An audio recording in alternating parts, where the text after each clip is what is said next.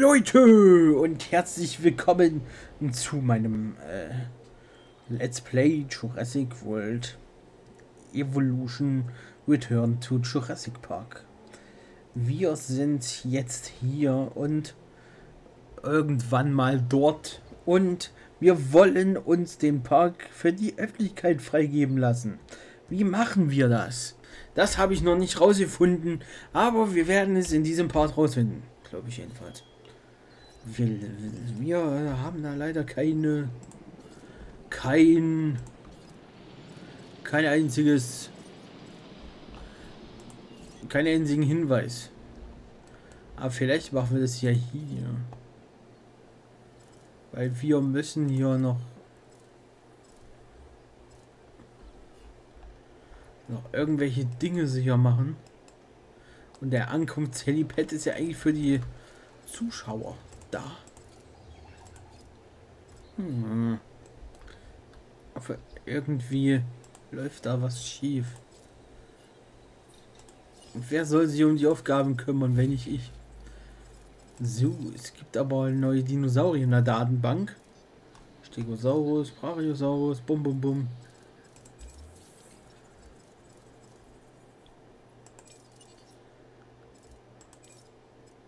Das ist der Moment, auf dem wir äh, uns hingearbeitet haben. Unsere Chancen.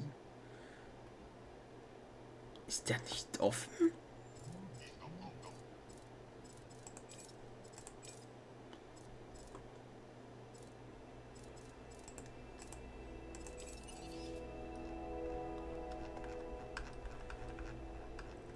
Das ist das ist nicht.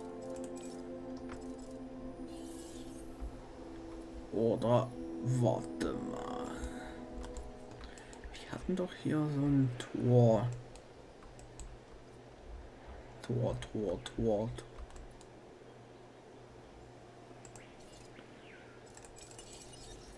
Wir bauen mal so ein Modul.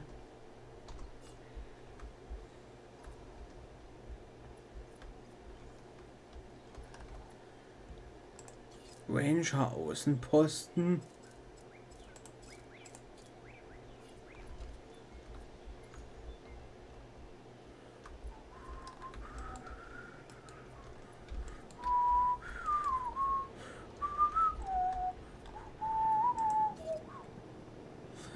Das Tor in den Jurassic Park sorgt für den wirkungsvollen Start einer Tour. Muss an die Tourstrecke angeschlossen sein. Ist es ja, ist es ja. Es ist ja angeschlossen, ist ja alles angeschlossen. Habe ich irgendwas übersehen? Irgendwo, irgendwie, irgendwas. Ey, komm, komm, komm.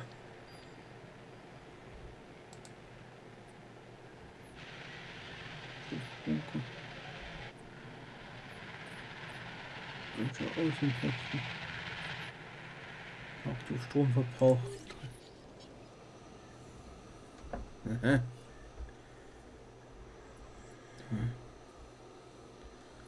Moment mal. Es gibt neue Forschungen. Apatosaurus. Äh.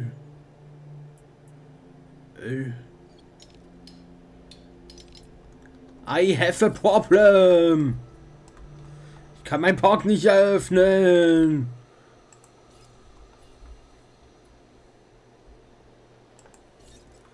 Der Ankunftshelipad gibt mir überhaupt keinen. Warte mal.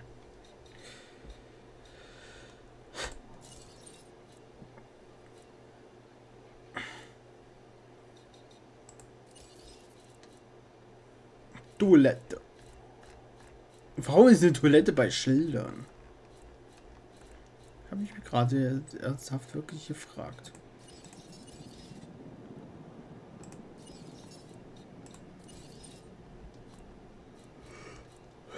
Toilette, Erforschung. Ich glaube, ich bin blöd. Wartet mal, wartet mal, wartet mal. Nee, hier gibt's nichts. Hier gibt es nichts. Okay. Hier gibt es nichts. Hier gibt es nur ein paar Krankheiten, die nehmen wir mal mit. Dinosaurier hier gibt es nix. Ingehen-Datenbank. Archiv 88, 10 von 88. Paläobotanik 0 von 10. Freigeschaltet. Charaktere 7 von 55. Krankheiten 3 von 8. Memos 0 von 15. Ingehen-Datenbank. Expeditionskarte Isla Nubla, Aufträge, Inselbewertung, Mission. Tony, hilf mir mal! Ich will wissen, wie man den Park öffnen kann. Ich bin jetzt gerade wirklich überfragt. Ich stecke fest. Ich stecke fest. Ist das hier? Ja, aber es sind äh, Raptoren. Also die kommen auch nie mehr raus.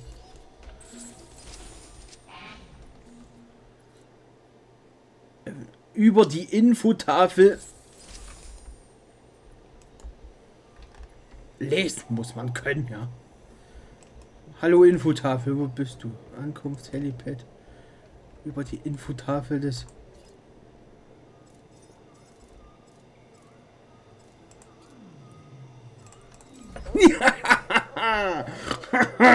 ich bin der König.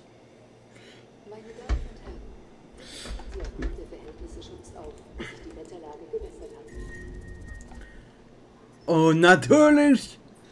Kaum habe ich den Park geöffnet, kommt fetter Sturm. Und ich kann die ersten Dinosaurier erforschen. Oh, das ist tot. Toll.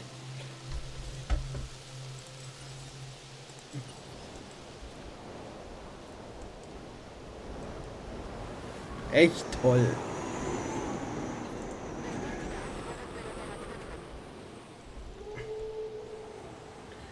Ich habe jetzt wirklich fünf Minuten dafür gebraucht, um den Park zu eröffnen. Nur weil ich nicht lesen kann. Jetzt verdienen wir aber Geld.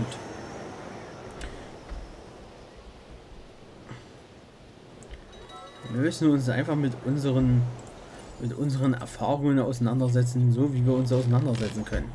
Wir erforschen uns jetzt erstmal alle Dinosaurier, die es hier erstmal gibt. Und dann, was machen wir dann? Und, ist der auch schon freigegeben? Nein, ist er nicht. Der ist nämlich hier unten. Das ist der. Ne, das ist der Rexy gewährt Zugang zum Tyrannosaurus verschiedenen Grabungsstätten der Frenchman Hell Creek und der Lens Formation.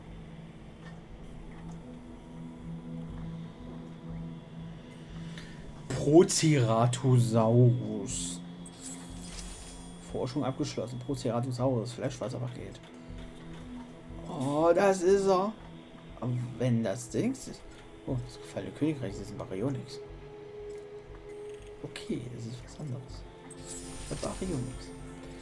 Wenn das aber Europlocephalus ist, das kommt so klar zu Dingsbums, Velociraptor, Pteranodon, der will ich haben. Der ist toll. So. Aber wir können doch nicht nach Deutschland. Stegosaurier können wir eigentlich uns ausbrüten und haben wir eigentlich schon Stegosaurus hier in diesem, diesem Riesengehege? Weil das können wir doch dafür benutzen, oder?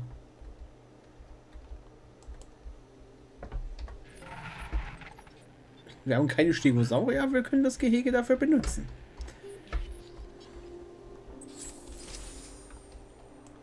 Genau wie Triosaurus. Die können wir auch äh, benutzen. Also hier ist auf jeden Fall Brüten über Dingsbums nicht möglich. Das können wir nur auf Isla Sorna. Das ist eigentlich total realistisch. Ich meine, im Film, im Film ist das wirklich auch so gewesen. Boom. Boom. Und das hält nicht anders. So, überwarten Sie eine Getränkebewertung von 85. Wir werden mal gucken, wo unsere Tour ist. Die ist da hinten irgendwo.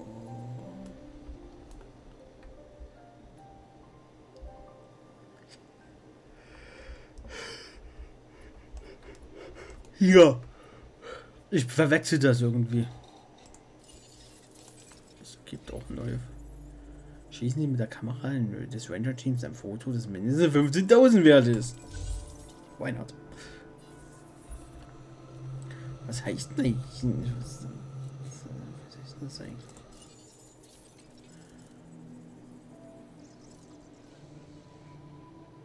Paläontologieberater, Paläonto, Paläobotanik, wie nennt sich das? Ich meine, das ist,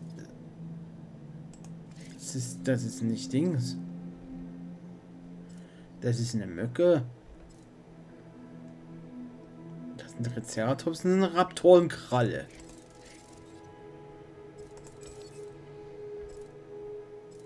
Steht hier, was das heißt. Auf der Suche nach dem Vögelchen. Da müssen wir wohl mal wieder fotografieren. Scheinbar. Aber erstmal bauen wir uns ein Hotel. Irgendwie.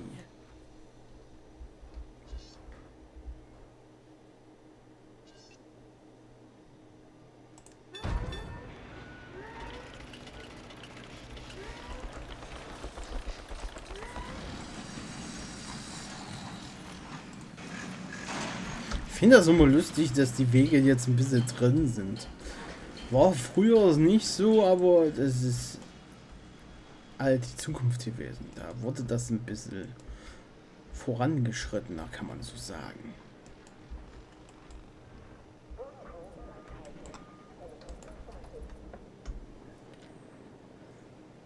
Und da können wir, können wir uns, uns äh, können wir uns auch ein Stegosaurus anschaffen, wenn wir wollen. Ich guck mal ganz kurz mal, was hier los ist.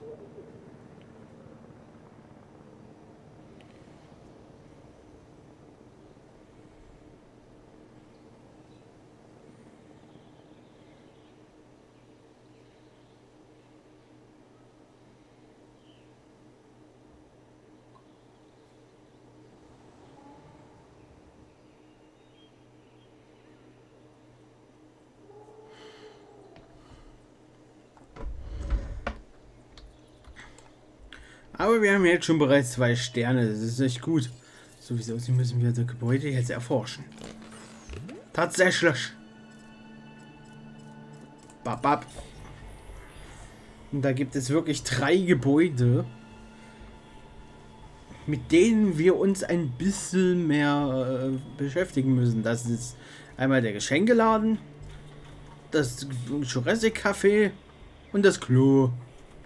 Vor allem jetzt müssten die auch noch ein Klo haben. Ich tue mich mit Klos.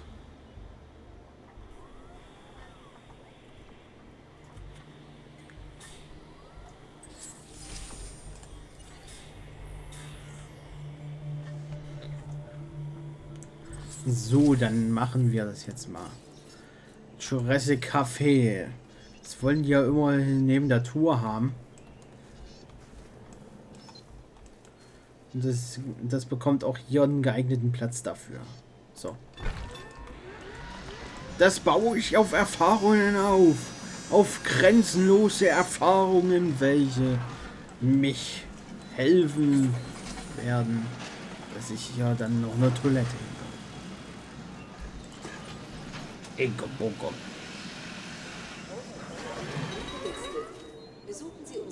Ich wollte die mögen ihre Toilette. Gebäude, Gebäude. Da.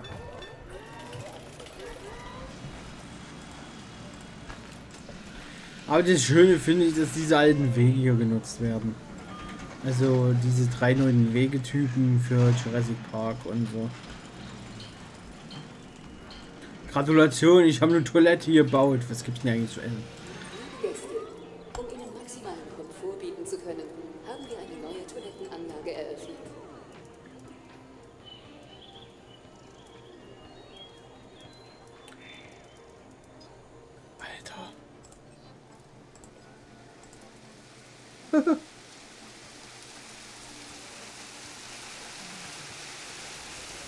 Geilo.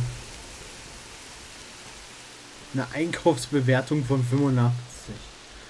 Sieht aber nicht so ganz auf 85 aus. Also die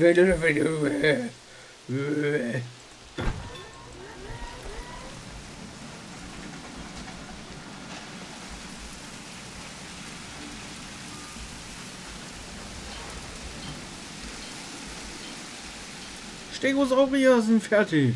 Cool, er ist tot.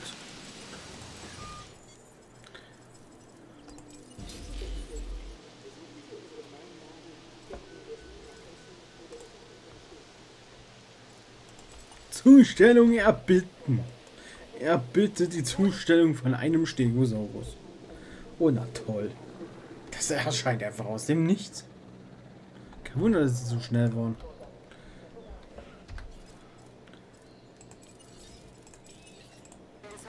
Aber kann ich mal erfahren, wie die Velociraptoren rein rauskommen?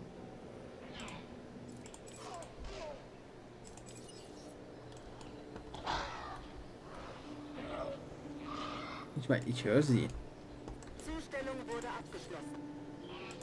Deaktivieren kann ich das nicht. Kann ich das löschen? Hm, scheinbar nicht. Eine Toilettenbewertung. Es gibt eine Toilettenbewertung. Im Spiel.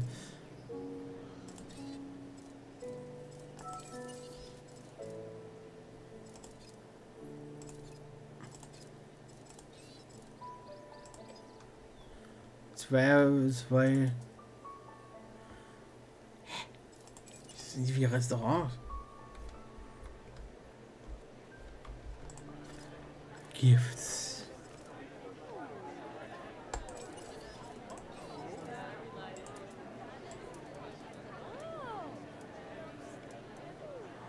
What a wonderful world. Okay.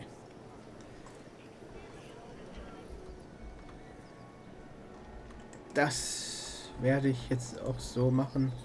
Wie den anderen. Hier noch ein Jurassic Park Kaffee hinmachen. Hm. Und hier noch mehr einkaufen.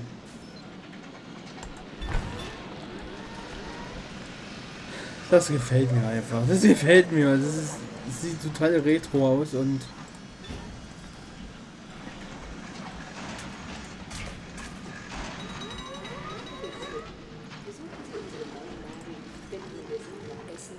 Und selbst hier geht das unbeschränkt weit. Oh! Oh shit. Und jetzt noch der Preis.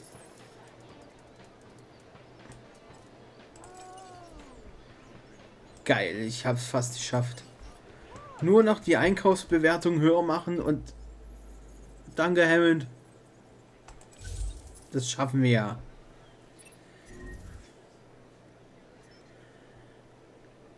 Ist klar. Ich habe zwar nicht so viel Platz, aber... Wir brauchen eh nur noch ein Einkaufsdings. Wo sind wir fertig? Da brauchen wir nicht sowas. Junge gleich gegenüber liegen.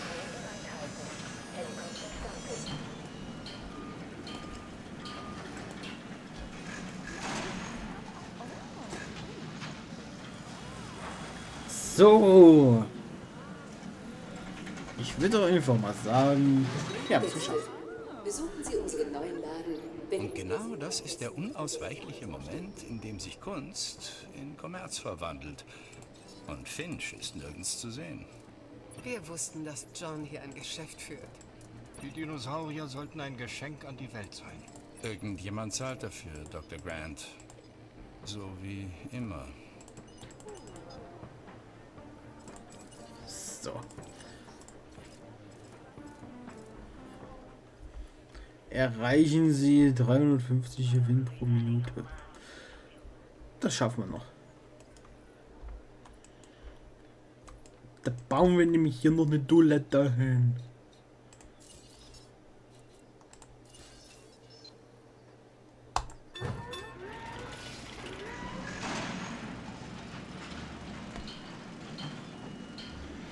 Alter, jetzt verwandeln wir das Ding hier in einem, in einem, in einem schönen Park.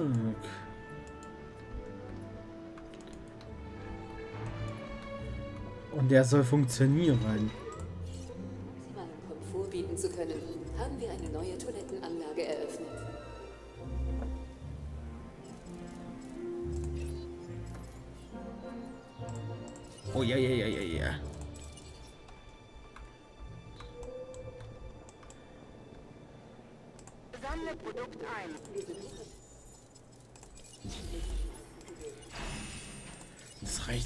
völlig mit den Stegos.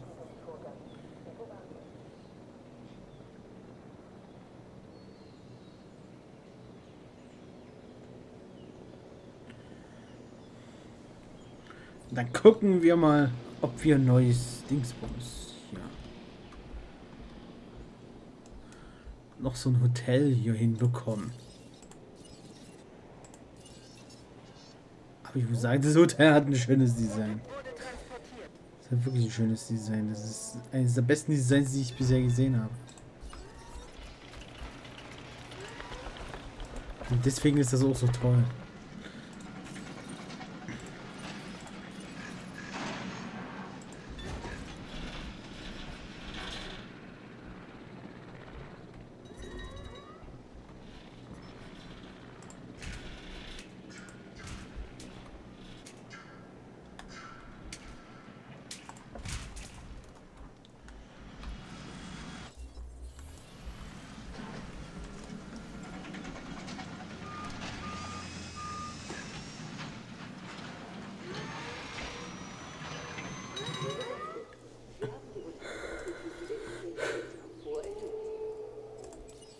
Okay, die Hotels funktionieren genauso wie die anderen Hotels.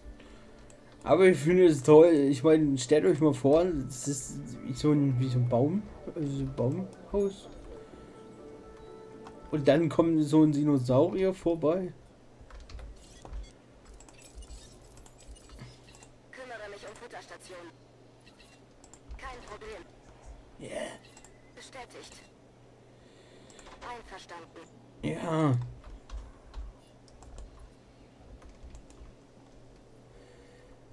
Jedenfalls haben wir jetzt es geschafft, den Parkstatus zu erreichen, dass wir jetzt einen Park bauen können. Währenddessen gehen wir jetzt nochmal zum Helipad. Tot. Warum tot? Ich verstehe das aber nicht. Naja.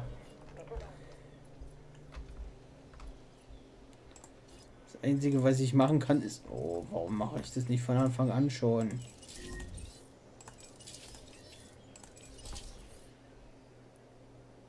Deswegen.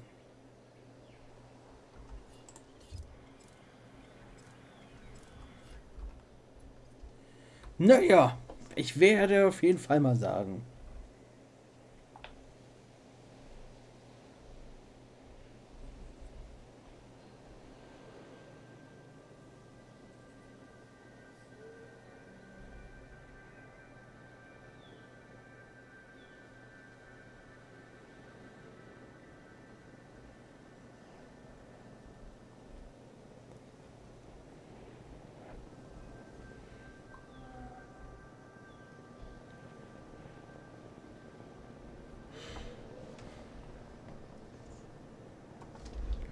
Jedenfalls, nachdem wir das jetzt so ein bisschen verwaltet haben und so und jetzt eine riesen Tour haben und irgendwie kein Strom mehr, und das ausgerechnet hier, wo wir uns dann noch mal so ein Kraftwerk wahrscheinlich hinbauen müssen, werde ich hier hinten tun. Weil wir haben hier, wir haben ja doch ein bisschen mehr Platz, als wir dachten. Deswegen werde ich sagen, das bauen wir jetzt noch schnell hin.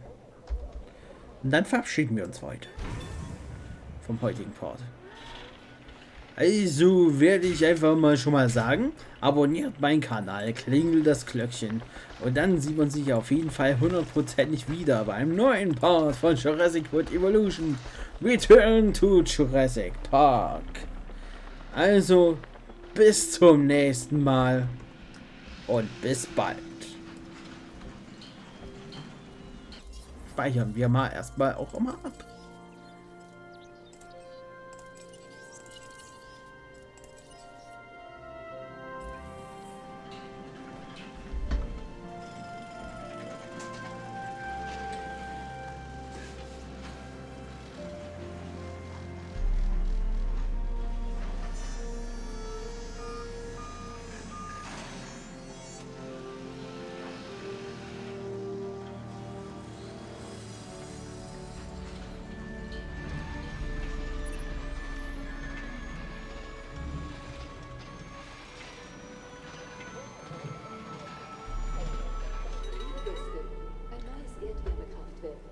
Ein neues